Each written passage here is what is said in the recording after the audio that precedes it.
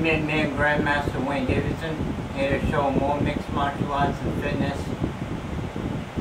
Welcome to Davidson MMA Barra Academy. We're going to get right into it in a few minutes.